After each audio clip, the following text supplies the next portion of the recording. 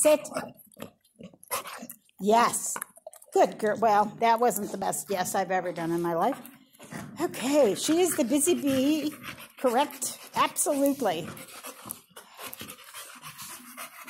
We are.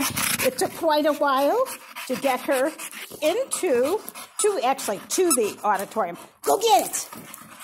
Because I was not going to be pulled, etc., etc.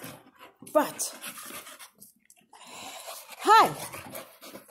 But she does do sit and she does do touch, and I have no idea what else she does, but she does run after toys.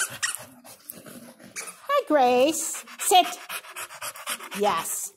And she takes treats surprisingly nicely.